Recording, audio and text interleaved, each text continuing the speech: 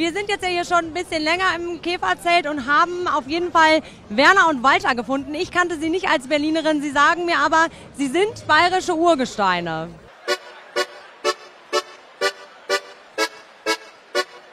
Das äh, auffälligste ist ja tatsächlich dieser Wahnsinnshut und hier diese Broschen im Bart.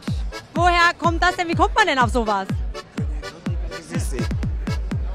Durch Zufall.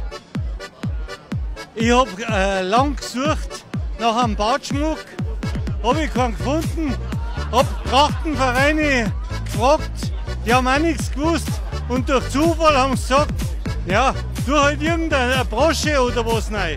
Aber das trägst du nicht immer, oder? Am Wochenende, wenn ich Tracht habe und Lederhosen habe, dann auf alle Fälle. Super. Sieht auf jeden Fall sehr beeindruckend aus für mich als Berlinerin. Ich kenne sowas ja nicht, aber ja, also Wahnsinn. Woher kommt das alles? Aus, also die ganzen hier oben?